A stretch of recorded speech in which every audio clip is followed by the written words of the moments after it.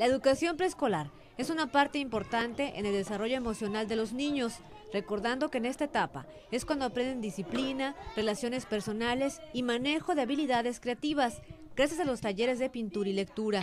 Un niño preescolar desarrolla diferentes capacidades y competencias que tienen que ir manejando, sobre todo este, trabajamos con lo que son valores, eh, trabajamos con eh, ciertas habilidades que los niños tienen que adquirir, que son competencias para la vida, cómo desarrollarse en la sociedad. Parte del desarrollo de habilidades en esta etapa de la vida es la visita a bibliotecas, parques de diversión y museos, en donde aprenden la apreciación de las artes. Van conociendo lo que son las diferentes dependencias con las cuales ellos cuentan para poder eh, incrementar lo que son sus saberes y, y la cultura en general. Cada niño aprende de manera distinta y es en el nivel preescolar, en donde los maestros detectan la capacidad y habilidades intelectuales.